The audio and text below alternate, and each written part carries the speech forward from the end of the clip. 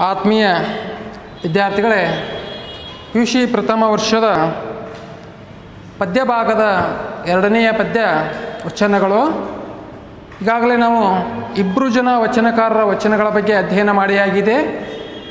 ಮೊದಲನೆಯದು ಅಲ್ಲಮ್ಮ ಪ್ರಭುವಿನ ವಚನ ಎರಡನೇ ವಚನ ಗಟ್ಟಿವಾಳಯ್ಯನ ವಚನಗಳು.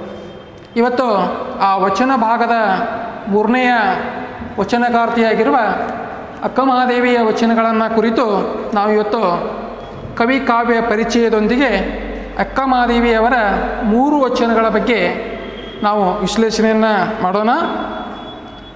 ಈಗಾಗಲೇ ತಮಗೆ ಗೊತ್ತಿರುವಂತೆ ಹನ್ನೆರಡನೇ ಶತಮಾನದ ಸುಪ್ರಸಿದ್ಧ ವಚನಕಾರ್ತಿಯಾಗಿರುವ ಅಕ್ಕಮಹಾದೇವಿಯ ಕಾಲ ಹನ್ನೊಂದು ನೂರ ಅರವತ್ತು ಎಂದು ಪಠ್ಯಪುಸ್ತಕದಲ್ಲಿ ಉಲ್ಲೇಖಿತಗೊಂಡದ. ಈಕೆ ಹನ್ನೆರಡನೇ ಶತಮಾನದ ಪ್ರಸಿದ್ಧ ವಚನಕಾರ್ತಿ ಈಕೆಯ ಜನ್ಮಸ್ಥಳ ವಚನಕಾರ್ತಿಯ ಜನ್ಮಸ್ಥಳ, ಶಿವಮೊಗ್ಗ ಜಿಲ್ಲೆ, ಶಿಕಾರಿಪುರ ತಾಲೂಕಿನ ಉಡುತಡಿ. ಅಂದರೆ ಇವತ್ತು ಉಡುಗಣೆ ಅಂತ ತಿಳ್ಕೊಂಡು ಕರೀತಾರೆ. ಆ ಉಡುಗಣೆಯ ಒಂದು ಶಿವಭಕ್ತರ ಕುಟುಂಬದಲ್ಲಿ ಜನ್ಮ ಪಡೀತಾಳೆ. ಇಲ್ಲಿ ಆಕೆಯ ತಂದೆ ತಾಯಿಗಳು ಯಾರು ಅಂತಕ್ಕಂಥ ವಿಚಾರ ನಮಗೆ ತಿಳ್ಕೊಳ್ಬೇಕಂದಾಗ ನಿರ್ಮಲ ಮತ್ತು ಸುಮತಿಯ ಮಗಳು ಅಕ್ಕಮಹಾದೇವಿ ಈಕೆ ಬಾಲ್ಯದಿಂದಲೇ ಶಿವನಲ್ಲಿ ಸಾಕಷ್ಟು ಆಸಕ್ತಿಯನ್ನು ಹೊಂದಿರ್ತಾಳೆ. ಶಿವಪೂಜೆ, ಶಿವಭಕ್ತಿ, ಶಿವನ ಸ್ತೋತ್ರ ಮಾಡೋದು ಅಂದರೆ ಬಹಳ ಬಹಳ ಆಕೆಗೆ ಆಸಕ್ತಿ ಇರ್ತದೆ. ಇಂಥ ಒಬ್ಬಳು ವಚನಕಾರ್ತಿಗೆ ಅಥವಾ ಅಕ್ಕಮಾದೇವಿಗೆ ಮುಂದೆ ಬೆಳೆದು ದೊಡ್ಡವಳಾದಾಗ ಆ ಉಡುತಡಿಯ ಅರಸನಾಗಿರ್ತಕ್ಕಂಥ ಕೌಶಿಕನ ಮನಸ್ಸು ಆಕೆಯ ಮೇಲೆ ಹೋಗ್ತದ. ಆವಾಗ ಆಕೆಗೆ ಇಷ್ಟವಿಲ್ಲದಿದ್ದರೂ ಸಹಿತ ಬಲವಂತದಿಂದ ಆಕೆಯನ್ನು ಮದುವೆ ಆಗ್ತಾನೆ. ತದನಂತರ ಆಕೆ ಈ ಕೌಶಿಕನಿಂದ ತನ್ನ ಶಿವಭಕ್ತಿಗೆ ಅಡೆತಡೆ ಉಂಟಾಗ್ತದ ಅಂತ ತಿಳ್ಕೊಂಡು ಲೌಕಿಕದ ಗಂಡನಾಗಿರ್ತಕ್ಕಂಥ ಕೌಶಿಕನನ್ನು ತೊರೆದು ಆಕೆ ಶ್ರೀಶೈಲದ ಮಲ್ಲಿಕಾರ್ಜುನನೇ ತನ್ನ ಪತಿ ಅಂತ ತಿಳ್ಕೊಂಡು ಶ್ರೀಶೈಲಕ್ಕೆ ಬಂದು ನೆಲೆಸಿದಳು. ಕೊನೆಗೆ ಆಕೆ ಶ್ರೀಶೈಲದ ಪಕ್ಕದಲ್ಲಿರ್ತಕ್ಕಂಥ ಕದಳಿ ವನದಲ್ಲಿ ಐಕ್ಯಳಾದಳು ಅಂತಕ್ಕಂಥ ಒಂದು ವಿಚಾರ ಗೊತ್ತಾಗ್ತದ. ಆಕೆ ಶ್ರೀಶೈಲದಲ್ಲಿ ಇರ್ತಕ್ಕಂಥ ಸಂದರ್ಭದಲ್ಲಿ ಈ ಹನ್ನೆರಡನೇ ಶತಮಾನದಲ್ಲಿ ವಚನಕಾರರಾಗಿರ್ತಕ್ಕಂಥ ಅನುಭವ ಮಂಟಪದ ಅಧ್ಯಕ್ಷನಾಗಿರ್ತಕ್ಕಂಥ ಅಲ್ಲಮ ಪ್ರಭುವಿನ ಮುಖಂಡತ್ವದಲ್ಲಿ ಅಥವಾ ನೇತೃತ್ವದಲ್ಲಿ ಏನೊಂದು ಅನುಭವ ಮಂಟಪ ಅಂತ ತಿಳ್ಕೊಂಡಿತ್ತಲ್ಲ, ಶಿವಶರಣರ ಒಂದು ಸಂಘಟನೆ, ಅದರಲ್ಲಿ ಆಕೆ ಸಕ್ರಿಯವಾಗಿ ಪಾಲ್ಗೊಂಡು ಆಕೆ ಆಧ್ಯಾತ್ಮಿಕ ವಿಚಾರಗಳನ್ನು ಕುರಿತು ಚರ್ಚೆ ಮಾಡ್ತಿದ್ದಳು ಅಂತಕ್ಕಂಥ ವಿಚಾರ ನಮಗೇನಾಗ್ತದ? ಗೊತ್ತಾಗ್ತದ? ಇಂಥ ಒಬ್ಬಳು ವಚನಕಾರ್ತಿಯ ಮೂರು ವಚನಗಳನ್ನು ನಮಗೆ ಏನು ಮಾಡಿದ್ದಾರೆ? ಪಠ್ಯವಾಗಿ ಕೊಟ್ಟಿದ್ದಾರೆ. ಆ ಮೂರು ವಿಚಾರಗಳಲ್ಲಿ ವಚನಗಳಲ್ಲಿ ಯಾವೆಲ್ಲ ವಿಚಾರಗಳು ಬರ್ತವೆ? ಆಮೇಲೆ ನಾವು ಯಾವ ವಿಚಾರಗಳನ್ನು ತಿಳ್ಕೊಳ್ಬೇಕು ಅನ್ನೋದನ್ನು ಇಲ್ಲಿ ನಾವು ಇವತ್ತು ಅಧ್ಯಯನದಲ್ಲಿ ಚರ್ಚೆ ಮಾಡೋಣ. ಈಕೆಯ ವಚನಗಳ ಅಂಕಿತ ಚನ್ನಮಲ್ಲಿಕಾರ್ಜುನ ಅಂತಕ್ಕಂಥದ್ದು ಇದೆ. ಚನ್ನಮಲ್ಲಿಕಾರ್ಜುನನ ನಾಮಾಂಕಿತದಲ್ಲಿ ಆಕೆ ಸಾವಿರಾರು ವಚನಗಳನ್ನು ಬರೆದಿದ್ದಾಳೆ. ಅವುಗಳಲ್ಲಿ ಮೂರು ವಚನಗಳನ್ನು ನಿಮಗೆ ಏನು ಮಾಡಿದ್ದಾರೆ? ಇಲ್ಲಿ ಪಠ್ಯದಲ್ಲಿ ಕೊಟ್ಟಿದ್ದಾರೆ. ಈ ಮೂರು ವಚನಗಳಲ್ಲಿ ಮೂರು ವಿಚಾರಗಳು ಅಥವಾ ಮೂರು ವಿಷಯಗಳು ನಮ್ಗೆ ಏನಾಗ್ತವೆ? ಇಲ್ಲಿ ಮನದಟ್ಟಾಗ್ತವೆ. ಏನಪ್ಪ ಅಂದರೆ ಮೊದಲನೇ ವಚನದಲ್ಲಿ ಲೌಕಿಕ ಬಂಧನದಲ್ಲಿ ಸಿಲುಕಿದ ಭಕ್ತನಿಗೆ ಏನಿಲ್ಲ, ಮುಕ್ತಿ ಎಂಬುದು ಇಲ್ಲ. ಯಾಕೆಂದರೆ ಅವನು ಪ್ರಾಚೀನ್, ಪ್ರಾಪಂಚಿಕ ತೊಳಲಾಟದಲ್ಲಿ ಸಿಕ್ಕಿ ಹಾಕಿಕೊಳ್ಳೋದ್ರಿಂದ ಅವನಿಗೆ ಮುಕ್ತಿಯ ಮಾರ್ಗ ಸಿಗೋದಿಲ್ಲ ಅಂತಕ್ಕಂಥದ್ದನ್ನು ಮೊದಲನೇ ವಚನದ ಮೂಲಕ ನಮಗೇನಾಗ್ತದ? ತಿಳಿದು ಬರ್ತದ? ಎರಡನೇ ವಚನದಲ್ಲಿ ಆತ್ಮ ಪರಮಾತ್ಮನಲ್ಲಿ ಲೀನವಾದಾಗ ಇಲ್ಲಿ ಭಕ್ತನಿಗೆ ಭವ ಭವ ಅಂದರೆ ಹುಟ್ಟು ಸಾವುಗಳು ಇಲ್ಲ ಅನ್ನೋದನ್ನು ಎರಡನೇ ವಚನ ನಮಗೆ ಹೇಳ್ತದೆ. ಇನ್ನು ಮೂರನೇ ವಚನ ಅನುಭಾವಿಗಳ ಮತ್ತು ಗುರು ಹಿರಿಯರ ಈ ಒಂದು ಸಂಸರ್ಗದಿಂದ ಅಥವಾ ಸಂಪರ್ಕದಿಂದ ಬದುಕು ಸಾರ್ಥಕವಾಗುತ್ತದೆ. ಅವಿಲ್ಲದ ಮನುಷ್ಯನ ಬದುಕು ವ್ಯರ್ಥ, ನಿರರ್ಥಕ ಅನ್ನೋದನ್ನು ಈ ಮೂರು ವಚನಗಳು ನಮಗೇನು ಮಾಡಿರ್ತವೆ? ಇಲ್ಲಿ ಮನದಟ್ಟು ಮಾಡಿಕೊಡ್ತವೆ. ತನ್ಮೂಲಕ ನಾವು ಏನು ಮಾಡಬೇಕಾಗಿದೆ? ಈ ಪ್ರಾಪಂಚಿಕ ಬಂಧನದಿಂದ ನಾವು ಮುಕ್ತಿಯನ್ನು ಪಡೀಲಿಕ್ಕೆ ಈ ಶಿವಜ್ಞಾನ, ಶಿವಭಕ್ತಿ, ಶಿವನಲ್ಲಿ ತಲ್ಲೀನಾಗಿರ್ತಕ್ಕಂಥ ಒಂದು ಮಾರ್ಗಗಳನ್ನು ಕಂಡ್ಕೊಳ್ಬೇಕು ಅನ್ನೋದನ್ನು ಇಲ್ಲಿ ಅಕ್ಕಮಹಾದೇವಿ ತನ್ನ ಈ ವಚನಗಳ ಮೂಲಕ ನಮಗೇನು ಮಾಡ್ತಾಳೆ? ನಮ್ಮ ಅರಿವಿಗೆ ತರ್ತಾಳೆ ಅನ್ನೋದು ಇಲ್ಲಿ ಗೊತ್ತಾಗ್ತದೆ.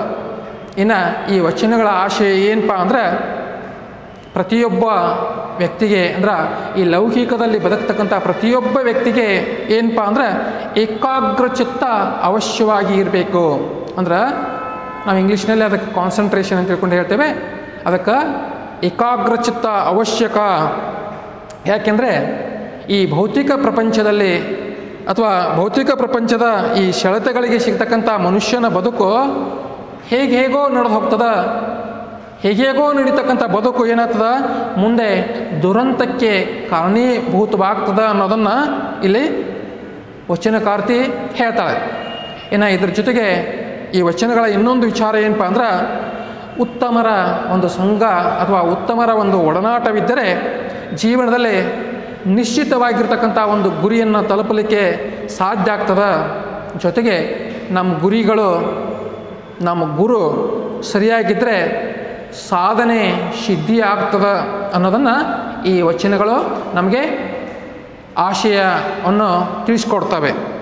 ಇನ್ನು ನಾವು ನೇರವಾಗಿ ಏನು ಮಾಡೋಣ, ವಚನಗಳ ಬಗ್ಗೆ ಚರ್ಚೆ ಮಾಡ್ಕೊಂತ ಹೋಗಿಬಿಡೋಣ. ವಿದ್ಯಾರ್ಥಿಗಳೇ, ಇವತ್ತು ನಾವು ಮೂರು ವಚನಗಳ ಬಗ್ಗೆ ಸಂಕ್ಷಿಪ್ತವಾಗಿ, ಅಂದರೆ ವಿಷಯ ಎಷ್ಟದ ಅಷ್ಟರ ಬಗ್ಗೆ ನಾನೇನು ಮಾಡ್ತೇನೆ, ಮಾತ್ರ ನಿಮ್ಮ ಜೊತೆಗೆ ಚರ್ಚೆ ಹಂಚಿಕೊಳ್ತಾ ಇದ್ದೇನೆ. ಮೊದಲನೇ ವಚನವನ್ನು ಓದೋದ್ರ ಮೂಲಕ ಆ ವಚನಗಳನ್ನು ವಿಶ್ಲೇಷಣೆ ಮಾಡಲಿಕ್ಕೆ ಮುಂದಾಗ್ತಾನೆ ಮೊದಲನೇ ವಚನ, ತಮ್ಮ ಅಧ್ಯಯನಕ್ಕಿರ್ತಕ್ಕಂಥದ್ದು ರನ್, ರತ್ನದ ಸಂಕೋಲೆಯಾದಡೆ ತೊಡರಲ್ಲವೇ, ಮುತ್ತಿನ ಬಲೆಯಾದಡೆ ಬಂಧನವಲ್ಲವೇ, ಚಿನ್ನದ ಕತ್ತಿಯಲ್ಲಿ ತಲೆ ಹೊಯ್ದಡೆ ಸಾಯದಿರ್ಪರೆ, ಲೋಕದ ಭಜನೆಯ ಭಕ್ತಿಯಲ್ಲಿ ಸಿಲುಕಿದಡೆ, ಜನನ ಮರಣ ಬಿಡುವುದೇ ಚೆನ್ನ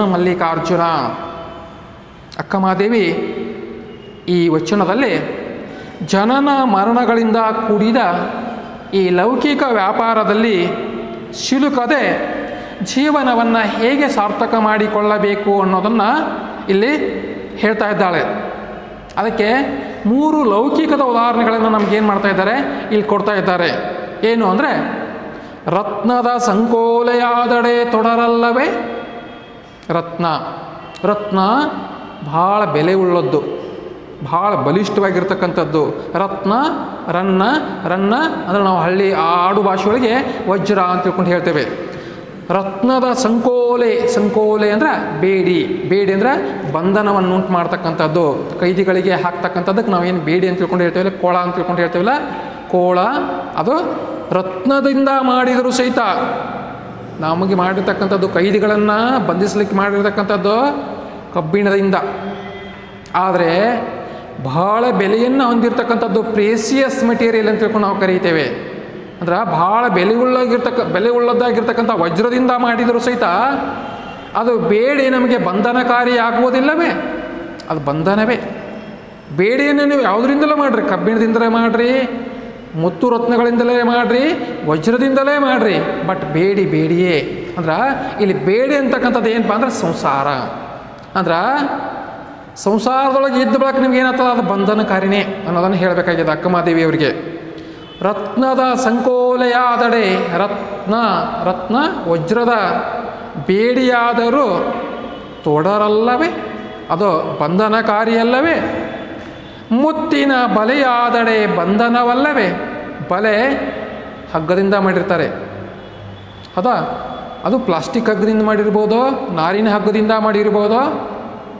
ಬಲೆ ಮಾಡ್ಲಿಕ್ಕೆ ಬಳಸ್ಕೊಳ್ತಕ್ಕಂಥ ದಾರದಿಂದ ಮಾಡಿರ್ಬೋದು ಯಾವುದರಿಂದ ಮಾಡಿದ್ರು ಸಹಿತ ಅದು? ಏನಾಗಿರ್ತದ? ಬಲಿಯಾಗಿರ್ತದ. ಆದರೆ ಈಗ ಶ್ರೀಮಂತಿಕೆ ಅಂತ ತಿಳ್ಕೊಂಡು ಹೇಳ್ತೇನೆ ಮುತ್ತ ಮುತ್ತು ಭಾಳ ಬೆಲೆ ಉಳ್ಳಾಗಿರ್ತಕ್ಕಂಥ ಒಂದು ಆಭರಣಕ್ಕೆ ಬಳಸ್ತಕ್ಕಂಥದ್ದು ಮುತ್ತು. ಆ ಮುತ್ತಿನಿಂದ ಮುತ್ತಿನಿಂದ ನಾವು ಬಲೆಯನ್ನು ನೇಯ್ದರೂ ಸಹಿತ ಅದು ಬಂಧನಕಾರಿನೇ. ಯಾಕಂದ್ರೆ, ಅದು ಬಂಧನವನ್ನುಟ್ಟು ಮಾಡ್ತಕ್ಕಂಥದ್ದೇ. ಇಲ್ಲಿ ಮುತ್ತು ಪ್ರೇಸಿಯಸ್ ಮೆಟೀರಿಯಲ್ ಭಾಳ ಬೆಲೆಯುಳ್ಳಂಥ ಒಂದು ವಸ್ತು. ಬೆಲೆ ಉಳ್ಳಂಥ ವಸ್ತುವಿನಿಂದ ಮಾಡಿದ ಅಂತ ತಿಳ್ಕೊಂಡು ಅದಕ್ಕೆ ಅದು ಬಂಧನವನ್ನು ಬಿಡೋದಿಲ್ಲ. ಯಾಕಂದ್ರೆ ಬಲೆ ಅಂದ ತಕ್ಷಣ ಅದು ಬಂಧನಕಾರಿಯಾಗಿರ್ತಕ್ಕಂಥದ್ದೇ ಚಿನ್ನದ ಕತ್ತಿಯಲ್ಲಿ ತಲೆ ಹೊಯ್ದಡೆ ಸಾಯದಿರ್ಪರೆ. ಕತ್ತಿ ಅಂದರೆ ಖಡ್ಗ. ಈ ಖಡ್ಗವನ್ನು ಕಬ್ಬಿಣದಿಂದ ಮಾಡಿರಲಿ, ಉಕ್ಕಿನಿಂದ ಮಾಡಿರಲಿ. ಅದ್ರ ಕೆಲಸ ಏನಪ್ಪ ಅಂದ್ರೆ ಕತ್ತರಿಸಿ ಹಾಕ್ತಕ್ಕಂಥದ್ದು. ಇನ್ನು ಕಬ್ಬಿಣದಿಂದ ಅಥವಾ ಉಕ್ಕಿನಿಂದ ಮಾಡಿರ್ತಕ್ಕಂಥದ್ದು ತಲೆ ಕತ್ತರಿಸ್ತದ? ಅದಕ್ಕೆ ಚಿನ್ನ ಭಾಳ ಬೆಲೆ ಉಳ್ಳಂಥ ಒಂದು ಮಟೀರಿಯಲ್ ಲೋಹ, ಅದರಿಂದ ಮಾಡಿದ್ರೆ ಅದು ಕತ್ತರಿಸೋಲ್ಲ ಅಂತ ತಿಳ್ಕೊಂಡು ಅನ್ನಕ್ಕೆ ಬರಲ್ಲ. ಅದು ಚಿನ್ನದಿಂದ ಮಾಡಿರಲಿ, ಕಬ್ಬಿಣದಿಂದ ಮಾಡಿರಲಿ, ಉಕ್ಕಿನಿಂದ ಮಾಡಿದ್ರೆ ಕತ್ತರಿಸ್ತಕ್ಕಂಥದ್ದೇ ಕತ್ತಿಯ ಕೆಲಸ, ಅಲಗು ಅಥವಾ ಖಡ್ಗದ ಕೆಲಸ. ಅದಕ್ಕೆ ಚಿನ್ನದ ಕತ್ತಿಯಲ್ಲಿ ತಲೆ ಹೊಯ್ದಡೆ. ಅಂದರೆ ಚಿನ್ನದಿಂದ ಮಾಡಿರ್ತಕ್ಕಂಥ ಖಡ್ಗದಿಂದ ತಲೆಗೆ ಹೊಡೆದ್ರೆ, ಕುತ್ತಿಗೆಗೆ ಹೊಡೆದ್ರೆ ಸಾಯದಿರ್ಪಾರೆ. ಅದು ಕತ್ತರಿಸಲ್ದ ಬಿಡ್ತದಾನ. ಯಾಕಂದ್ರೆ ಕತ್ತಿ ಕೆಲಸ ಏನು? ಖಡ್ಗದ ಕೆಲಸ ಏನು? ಕತ್ತರಿಸಿ ಹಾಕೋದು. ಹಾಗೆ ಲೋಕದ ಭಜನೆಯ ಭಕ್ತಿಯಲ್ಲಿ ಸಿಲುಕಿದಡೆ ಲೋಕದ ಭಜನೆ ಅಂದರೆ ಸಂಸಾರದ ಬಂಧನ ಅಂತ ತಿಳ್ಕೊಂಡು ಹೇಳ್ತೀವಿ. ಲೋಕದ ಭಜನೆ ಅಂದ್ರೆ ಈ ಭೂಮಿಯಲ್ಲಿ ಬದುಕ್ತಕ್ಕಂಥ ಸಾಮಾನ್ಯವಾಗಿ ಎಲ್ಲವೂ ಸಹಿತ ಏನಾಗಿರ್ತವೆ? ಜೀವಿಗಳು ಪರಸ್ಪರ ಆಕರ್ಷಿತವಾಗಿರ್ತವೆ. ಪರಸ್ಪರ ಅಂದರೆ ಒಂದರಿಂದ ಇನ್ನೊಂದು ಆಕರ್ಷಿತವಾಗಿರ್ತವೆ. ಹೆಣ್ಣು ಗಂಡಿನಿಂದ, ಆಮೇಲೆ ಮನಸ್ಸು ಆಹಾರಕ್ಕಿರ್ಬೋದು, ಮುತ್ತು ರತ್ನಗಳಿಗಿರ್ಬೋದು, ಭೂಮಿಗಿರ್ಬೋದು, ಅದೇನಾಗಿರ್ತದೆ? ಆಕರ್ಷಿತಗೊಂಡಿರ್ತದೆ. ಹಿಂಗೆ ಪರಸ್ಪರ ಆಕರ್ಷಣೆಗೊಳ್ತಕ್ಕಂಥ ಈ ಭೂ ಭೂ, ಭುವಿಯಲ್ಲಿ ವಾಸಿಸ್ತಕ್ಕಂಥ ಜನರಿಗೆ, ಸಂಸಾರಿಗಳಿಗೆ ಲೋಕದ ಭಜನೆಯ ಭಕ್ತಿಯಲ್ಲಿ ಸಂಸಾರದಲ್ಲಿ ಮುಳುಗಿ ಇರ್ಕೊಳ್ತಕ್ಕಂಥ ಅಂದರೆ ಸಂಸಾರದ ಬಗ್ಗೆನೇ ಚಿಂತನೆ ಮಾಡ್ತಕ್ಕಂಥ ಜನರಿಗೆ ಜನನ ಮರಣ ಬಿಡುವುದೇ ಚೆನ್ನ ಮಲ್ಲಿಕಾರ್ಜುನ. ಅಂದ್ರೆ ಹುಟ್ಟು ಮತ್ತು ಸಾವುಗಳ ಬಂಧನದಿಂದ ಬಿಡುಗಡೆ ಆಗುವುದೇ ಆಗ್ಲಿಕ್ಕೆ ಸಾಧ್ಯವೇ ಇಲ್ಲ. ಯಾಕೆಂದ್ರೆ ರತ್ನ, ರತ್ನದ ಸಂಕೋಲೆ ಹಾಗೆ ನಮಗೆ ಬಂಧನಕಾರಿಯಾಗಿರ್ತದ, ಮುತ್ತಿನಿಂದ ಮಾಡಿರ್ತಕ್ಕಂಥ ಬಲೆ ಹಾಗೆ ನಮಗೆ ಬಂಧನಕಾರಿಯಾಗಿರ್ತದ ಚಿನ್ನದಿಂದ ಮಾಡಿರ್ತಕ್ಕಂಥ ಖಡ್ಗ ಯಾವ ರೀತಿಯಾಗಿ ಕುತ್ತಿಗೆಯನ್ನು ಕತ್ತರಿಸಾಗ್ತದ? ಹಂಗೆ ಸಂಸಾರ ಅಂತಕ್ಕಂಥದ್ದು ಸಹಿತ ಏನಪ್ಪ ಅಂದರೆ, ಇದು ಒಂದು ರೀತಿ ಬಂಧನಕಾರಿಯೇ, ಒಂದು ರೀತಿ ತೊಡರೆ, ಒಂದು ರೀತಿ ಕತ್ತರಿಸಿ ಆಗ್ತಕ್ಕಂಥದ್ದೇ ಅದಕ್ಕೆ ಈ ಭುವಿಯಲ್ಲಿ ವಾಸ ಮಾಡ್ತಕ್ಕಂಥ ಭವಿಗಳು ಸಂಸಾರದ ಒಂದು ಚಿಂತನೆಯಲ್ಲಿ ಮುಳುಗಿರುವಾಗ ಅವನಿಗೆ ಶಿವಭಕ್ತಿಯನ್ನು ಮಾಡ್ತಕ್ಕಂಥ, ಶಿವಧ್ಯಾನವನ್ನು ಮಾಡ್ತಕ್ಕಂಥ ಅವಕಾಶ ಇರೋದಿಲ್ಲ. ಅದಕ್ಕೆ ಅವನು ಸಹಿತ ಏನಾಗ್ತಾನೆ? ಅದರಿಂದ ನಾಶ ಆಗ್ತಾನೆ. ಬಂಧನ, ಆ ಸಂಸಾರದ ಬಂಧನದಿಂದ ಅವನೇನು ಮಾಡ್ತಾನೆ? ಸಿಕ್ಕು ಒದ್ದಾಡ್ತಾನೆ. ಅಂಥ ಜನರಿಗೆ ಈ ಲೌಕಿಕದ ಬಂಧನವಾಗಿರ್ತಕ್ಕಂಥದ್ದು ಯಾವ್ದು ಬಂದ್ರೆ ಹುಟ್ಟು ಮತ್ತು ಸಾವುಗಳೇ ಲೌಕಿಕದ ಬಂಧನಕಾರಿಯಾಗಿರ್ತಕ್ಕಂಥ ಅಂಶಗಳು. ಅವುಗಳಿಂದ ಮುಕ್ತಿ ಪಡಿಲಿಕ್ಕೆ ಸಾಧ್ಯ ಇಲ್ಲ ಅಂತಕ್ಕಂಥ ಒಂದು ವಿಚಾರವನ್ನು ಇಲ್ಲಿ ಅಕ್ಕ ಮಹಾದೇವಿ ಮೊದಲನೇ ವಿಚ ವಚನದಲ್ಲಿ ಹೇಳ್ತಾರೆ. ಅಂದರೆ ಸಂಸಾರದಲ್ಲಿ ಮುಳುಗಿರ್ತಕ್ಕಂಥ ವ್ಯಕ್ತಿ ಎಷ್ಟೇ ಭಕ್ತಿಯನ್ನು ತೋರಿದರೂ ಸಹಿತ ಈ ಜನನ ಮರಣ ಅಂತಕ್ಕಂಥ ಈ ಭವಬಂಧನದಿಂದ ಬಿಡುಗಡೆ ಹೊಂದಿ ಮುಕ್ತಿ ಹೊಂದಲಿಕ್ಕೆ ಸಾಧ್ಯ ಇಲ್ಲ ಅನ್ನೋದನ್ನು ಅಕ್ಕ ಮಹಾದೇವಿ ಮೊದಲನೇ ವಚನದ ಮೂಲಕ ನಮಗೆ ಹೇಳ್ತಾಳೆ. ಇದು ಮೊದಲನೇ ವಚನದ ವಿಚಾರ. ಇನ್ನು ಎರಡನೇ ವಚನಕ್ಕೆ ಹೋಗೋಣ. ಲೋಕದ ಚೇಷ್ಟೆಗೆ ರವಿ ಬೀಜವಾದಂತೆ ಕರುಣಗಳ ಚೇಷ್ಟೆಗೆ ಮನವೇ ಬೀಜ. ಎನಗುಳ್ಳದೊಂದು ಮನ, ಆ ಮನ ನಿಮ್ಮಲ್ಲಿ ಶಿಲುಕಿದ ಬಳಿಕ ಎನಗೆ ಭವ ಉಂಟೆ ಚೆನ್ನಮಲ್ಲಿಕಾರ್ಜುನ. ಲೋಕದ ಚೇಷ್ಟೆಗೆ ರವಿಬೀಜವಾದಂತೆ ಚೇಷ್ಟೆ ಅಂದರೆ ಚಟುವಟಿಕೆ. ಅಂದ್ರೆ ಈ ಜಗತ್ತಿನ ಪ್ರತಿಯೊಂದು ಜೀವಿಗಳ ಚಟುವಟಿಕೆಗೆ ರವಿಯೇ ಬೀಜ ಬೀಜ ಅಂದರೆ ಇಲ್ಲಿ ಕಾರಣೀಕರ್ತ. ಅಂದ್ರೆ ಸೂರ್ಯನ ಉದಯದಿಂದ ಜಗತ್ತಿನಲ್ಲಿರ್ತಕ್ಕಂಥ ಜೀವಿಗಳ ಪ್ರತಿಯೊಂದು ಚಟುವಟಿಕೆಗಳು ಸಸ್ಯದಿಂದ ಹಿಡ್ಕೊಂಡು ಎಲ್ಲವುಗಳ ಚಟುವಟಿಕೆ ಪ್ರಾರಂಭ ಆಗ್ತದೆ. ಹಾಗೆ ಕರ್ಣಂಗಳ ಚೇಷ್ಟೆಗೆ ಅಂದ್ರೆ ಕರ್ಣ ಅಂದ್ರೆ ನಮ್ಮ ದೇಹದಲ್ಲಿರ್ತಕ್ಕಂಥ ಪಂಚೇಂದ್ರಿಯಗಳ ಚೇಷ್ಟೆಗೆ ಅಂದ್ರೆ ಚಟುವಟಿಕೆಗೆ ಮನವೇ ಬೀಜ. ಯಾಕಂದ್ರೆ ನಮ್ಮ ಮನಸ್ಸಿನ ನಿಯಂತ್ರಣದಲ್ಲಿ ಪಂಚೇಂದ್ರಿಯಗಳಿದ್ದಾವೆ ಯಾಕಂದ್ರೆ ಕಣ್ಣು ನೋಡ್ತದ ನೋಡ್ಲಿಕ್ಕೆ ಹಚ್ತಕ್ಕಂಥದ್ದು ಯಾವುದೋ ಮನಸ್ಸು. ಕಿವಿ ಕೇಳ್ತದ ಕೇಳಲಿಕ್ಕೆ ಹಚ್ತಕ್ಕಂಥದ್ದು ಯಾವುದೋ ಮನಸ್ಸು. ಹೌದಾ? ನಾಲಿಗೆ ರುಚಿಯನ್ನು ಬಯಸ್ತದ, ಮಾತು ಮಾತಾಡ್ತದ, ಮಾತನಾಡಲಿಕ್ಕೆ ರುಚಿ ಬಯಸ್ಲಿಕ್ಕೆ ಹಚ್ಚೋದು ಯಾವಪ್ಪ ಅಂದರೆ ಮನಸ್ಸು. ಅದೇ ರೀತಿಯಾಗಿ ಚರ್ಮ ಸ್ಪರ್ಶೇಂದ್ರಿಯ, ಅದು ಸಹಿತ ಏನು ಮಾಡ್ತದ? ಸ್ಪರ್ಶವನ್ನು ಬಯಸ್ತದ. ಅದೇ ರೀತಿಯಾಗಿ ನಮ್ಮಲ್ಲಿ ಈ ಪಂಚೇಂದ್ರಿಯಗಳಿಂದ ಸುಗ್ತಕ್ಕಂಥ ಸುಖದ ಬಗ್ಗೆ ಒಂದು ಅರಿವನ್ನು ಅಥವಾ ಕಲ್ಪನೆಯನ್ನು ಕೊಡ್ತಕ್ಕಂಥದ್ದು ಮನಸ್ಸು. ಅದಕ್ಕೆ ನಮ್ಮ ಪಂಚೇಂದ್ರಿಯಗಳ ಚಟುವಟಿಕೆಗೆ ಕಾರಣವಾಗ್ತಕ್ಕಂಥದ್ದು ಯಾವ್ದು ಬಂದ್ರೆ ಮನಸ್ಸು. ಹೀಗಿರುವಾಗ ಯಾನಗುಳ್ಳದೊಂದು ಮನ ನನಗೆ ಒಂದೇ ಮನಸ್ಸದ.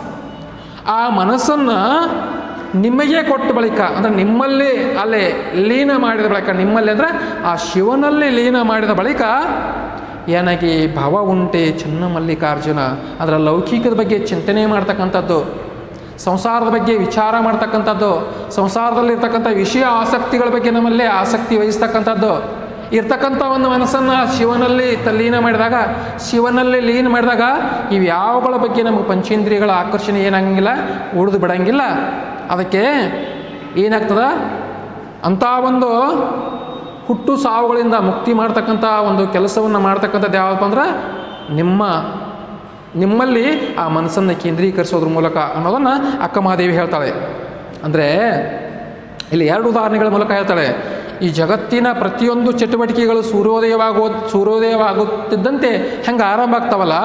ಹಂಗೆ ನಮ್ಮ ದೇಹದಲ್ಲಿರ್ತಕ್ಕಂಥ ಪಂಚೇಂದ್ರಿಯಗಳ ಪ್ರತಿಯೊಂದು ಚಟುವಟಿಕೆಗಳು ಸಹಿತ, ಪ್ರತಿಯೊಂದು ಚಟುವಟಿಕೆ ಅಂದರೆ ಕಾಯ, ವಾಚ, ಮನಸ್ಸ. ಈ ತ್ರಿಕರ್ಣಗಳ ಚೇಷ್ಟೆಗಳಿಗೆ ಈ ಮನಸ್ಸೇ ಕಾರಣವಾಗ್ಯದ. ಹೌದಾ? ಈ ವಾಚಿಕ ಕ್ರಿಯೆಗಳಿಗೆ ಅಂದ್ರೆ ಈ ಪಂಚೇಂದ್ರಿಯಗಳ ಕ್ರಿಯೆಗಳಿಗೆ ಚಲನೆ ನೀಡುವುದು ಮನಸ್ಸು. ಜನರು ಈ ಪ್ರಪಂಚದ ಸೆಳೆತದಲ್ಲಿ ಸಿಲುಕಿ ತಮ್ಮ ಮನಸ್ಸನ್ನು ಹರಿಯಬಿಟ್ಟು ಹರಿಯಬಿಟ್ಟು ಏನು ಮಾಡ್ತಾರೆ? ಸ್ವೇಚ್ಛಾಚಾರದಿಂದ ಬದುಕನ್ನು ನಡೆಸಿ ಅವರೆಲ್ಲರೂ ಹಾಳಾಗ್ತಾರೆ. ಆದರೆ ನನಗಿರ್ತಕ್ಕಂಥ ಒಂದೇ ಮನಸ್ಸನ್ನು ಶಿವನಲ್ಲಿ, ಶಿವಧ್ಯಾನದಲ್ಲಿ ನೆಟ್ಟರೆ ತನಗೆ ಈ ಪ್ರಾಚೀನ್ ಪ್ರಾಪಂಚಿಕ ಬಂಧನಗಳ ಕಟ್ಟು ಇಲ್ಲ. ಜನನ ಮರಣಗಳ ಭೀತಿ ತನಗೆ ಇಲ್ಲ ಅಂತ ತಿಳ್ಕೊಂಡು ಅಕ್ಕಮಹಾದೇವಿ ಹೇಳೋದ್ರ ಮೂಲಕ ನಮ್ಗೆ ಇನ್ನೊಂದು ಸಂದೇಶವನ್ನು ಕೊಡ್ತಾ ಇದ್ದಾಳೆ. ಏನಪ್ಪ ಅಂದ್ರೆ, ಮನಸ್ಸನ್ನು ಆಮೇಲೆ ನಮ್ಮ ಜೀವನವನ್ನು ನಾವು ನಿಯಂತ್ರಣದಲ್ಲಿ ಇಟ್ಕೊಳ್ಬೇಕು. ಇಟ್ಕೊಂಡಾಗ ಮಾತ್ರ ನಮಗೆ ಈ ಹುಟ್ಟು ಸಾವುಗಳಂತಕ್ಕಂಥ ಒಂದು ಭವಬಂಧನ ಅದಲ್ಲ, ಆ ಭವಬಂಧನದಿಂದ ಮುಕ್ತಿಯನ್ನು ಪಡೀಲಿಕ್ಕೆ ಸಾಧ್ಯ ಅನ್ನೋದನ್ನು ಅಕ್ಕಮಾದೇವಿ ಇಲ್ಲಿ ಹೇಳ್ತಾ ಇದ್ದಾಳೆ. ಇನ್ನು ಮೂರನೇ ವಚನ, ಕಣ್ಣಿಗೆ ಶೃಂಗಾರ ಗುರು ಹಿರಿಯರ ನೋಡುವುದು, ಕರ್ಣಕ್ಕೆ ಶೃಂಗಾರ ಪುರಾತನರ ಸಂಗೀತಗಳು ಕೇಳುವುದು, ವಚನಕ್ಕೆ ಶೃಂಗಾರ ಸತ್ಯವ ನುಡಿಯುವುದು ಸಂಭಾಷಣೆಗೆ ಶೃಂಗಾರ ಸದ್ಭಕ್ತರ ನುಡಿಗಳನ್ನು ಕರಕ್ಕೆ ಶೃಂಗಾರ ಸತ್ಪಾತ್ರಕ್ಕೀವುದು ಜೀವಿಸುವ ಜೀವನಕ್ಕೆ ಶೃಂಗಾರ ಘನಮೇಳಾಪ. ಇವಿಲ್ಲದ ಜೀವಿಯ ಬಾಳುವೆ ಏತಕ್ಕೆ ಬಾತಿಯಯ್ಯ ಚನ್ನಮಲ್ಲಿಕಾರ್ಜುನ ಅಕ್ಕಮಾದೇವಿ ಇಲ್ಲಿ ಹೇಳ್ತಾಳೆ, ಬದುಕಿನ ಪ್ರಯೋಜನ ಯಾವುದ್ರಲ್ಲಿದೆ? ಅಂತ. ನಮ್ಮ ಜೀವನದ ಪ್ರಯೋಜನ ಯಾವುದ್ರಲ್ಲಿದ? ಅಂತ ತಿಳ್ಕೊಂಡು ಮನುಷ್ಯನ ಜೀವನದ ಸಾರ್ಥಕತೆ ಎಲ್ಲಿದೆ ಅನ್ನೋದನ್ನು ಅಕ್ಕಮಾದೇವಿ ಈ ವಚನದಲ್ಲಿ ಹೇಳ್ತಾ ಇದ್ದಾಳೆ. ಕಣ್ಣಿಗೆ ಶೃಂಗಾರ ಗುರು ಹಿರಿಯರನ್ನು ನೋಡೋದು, ದೇವರು ನಮ್ಮ ಕಣ್ಣು ಕೊಟ್ಟಾನೆ, ಯಾಕೆ ಕೊಟ್ಟಾನೆ ಅಂದರೆ ಗುರು ಹಿರಿಯರನ್ನು ನೋಡಲಿಕ್ಕೆ. ಕರ್ಣಕ್ಕೆ ಶೃಂಗಾರ ಪುರಾತನರ ಸಂಗೀತಂಗ ಕೇಳುವುದು. ಅಂದ್ರೆ ಇಲ್ಲಿ ಕಣ್ಣಿಗೆ ಸಾರ್ಥಕತೆ ಯಾವಾಗ ಬರ್ತದ? ಗುರು ಹಿರಿಯರನ್ನು ನೋಡೋದ್ರ ಮೂಲಕ. ಕಿವಿಗಳಿಗೆ ಸಾರ್ಥಕತೆ ಯಾವಾಗ ಬರ್ತದ? ಪುರಾತನರ ಸಂಗೀತಗಳನ್ನು ಕೇಳೋದ್ರ ಮೂಲಕ ಪುರಾತನರು ಅಂದರೆ ಇಲ್ಲಿ ಶಿವಭಕ್ತರ ಸಂಗೀತ, ಶಿವಭಕ್ತರ ಧ್ಯಾನ. ಇವು ಕಿವಿಗೆ ಏನತ್ತವೆ ಒಂದು ಸಾರ್ಥಕತೆಯನ್ನು ತಂದುಕೊಡ್ತವೆ. ವಚನಕ್ಕೆ ಶೃಂಗಾರ ಸತ್ಯವ ನುಡಿಯುವುದು. ನಾವು ಮಾತನಾಡುವಾಗ ಲೌಕಿಕದಲ್ಲಿ ಎಷ್ಟು ಸತ್ಯಪೂರ್ವಕವಾಗಿ ನಾವು ನಡೀತೀವಲ್ಲ, ಎಷ್ಟು ಸತ್ಯದಿಂದ ಮಾತಾಡ್ತೀವಲ್ಲ, ಅಂದಾಗ ಮಾತ್ರ ಆ ಮಾತಿಗೊಂದು ಸಾರ್ಥಕತೆ ಬರ್ತದೆ. ಸಂಭಾಷಣೆಗೆ ಶೃಂಗಾರ ಸದ್ಭಕ್ತರ ನುಡಿಗಳನ್ನು ನಾವು ಯಾರ ಜೊತೆಗೆ ಚರ್ಚೆ ಮಾಡಬೇಕು ಅಂದ್ರೆ ಶಿವಶರಣರ ಜೊತೆಗೆ, ಶಿವಭಕ್ತರ ಜೊತೆಗೆ ನಾವು ಏನು ಮಾಡಬೇಕು? ಸಂಭಾಷಣೆ ಮಾಡಬೇಕು. ಅಂದಾಗ ಆ ಸಂಭಾಷಣೆಗೆ ಏನಿರ್ತದ? ಒಂದು ಸಾರ್ಥಕತೆ ಇರ್ತದೆ. ಅದೇ ರೀತಿಯಾಗಿ ಕರಕ್ಕೆ ಶೃಂಗಾರ ಸತ್ಪಾತ್ರ ಕೀಯೋದು. ಅಂದರೆ ಕರ ಅಂದರೆ ಕೈ. ಕೈಗಳಿಗೆ ಏನಾಗ್ತದ? ಶೃಂಗಾರ. ಯಾವಾಗ? ನಾವು ಶಿವಭಕ್ತರಿಗೆ ದಾನ ಮಾಡೋದ್ರ ಮೂಲಕ ಒಳ್ಳೆಯ ಕಾರ್ಯಗಳಿಗೆ ಸಹಾಯ ಮಾಡೋದ್ರ ಮೂಲಕ. ಹಂಗೆ ನಮ್ಮ ಬದುಕಿನ ಸಾರ್ಥಕತೆ ಎಲ್ಲಿದಪ್ಪ ಅಂದ್ರೆ, ಶಿವಭಕ್ತರ ಸಮೂಹದೊಂದಿಗೆ ಬದುಕುವುದು. ಶಿವಭಕ್ತರ ಸಂಘದಲ್ಲಿ ನಾವು ಬದುಕನ್ನು ಬದುಕುವುದು. ಇವು ಇಲ್ಲ ಅಂದ್ರೆ, ನಮ್ಮ ಬದುಕು ಯಾವುದಕ್ಕೂ ಬಾರದಯ್ಯ, ಯಾವುದಕ್ಕೂ ಉಪಯೋಗ ಇಲ್ಲ. ಅವನ ಬದುಕಿನೂ ಸಹಿತ ನಿರರ್ಥಕ ಅನ್ನೋದನ್ನು ಅಕ್ಕಮಾದೇವಿ ಈ ವಚನದ ಮೂಲಕ ಹೇಳ್ತಾ ಇದ್ದಾಳೆ.